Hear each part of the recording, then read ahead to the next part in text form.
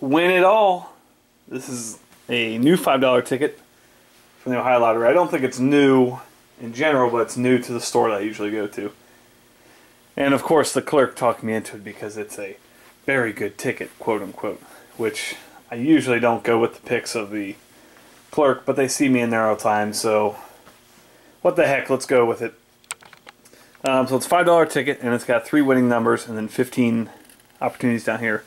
Then we've got this cool little win it all number, and uh, if one of these numbers matches this, then I automatically win all these prizes.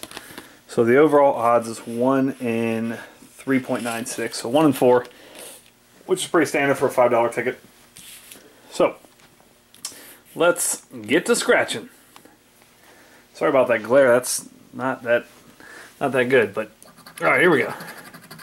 27, these are the winning numbers, 27, 24, and 28. Alright.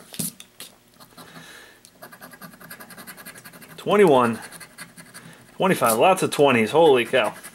26, this is ridiculous. 19, 29, 11, oh, auto win, baby.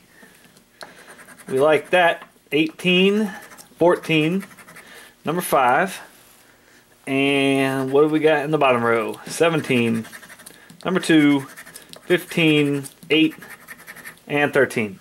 Okay, so I didn't win. I didn't match any numbers, but I did get the auto win. So let's uh, let's scratch this win it all number first. Win it all number seven.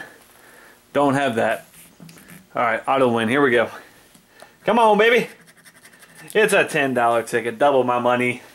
That's a good night. Double your money is always a good thing. Thanks for watching.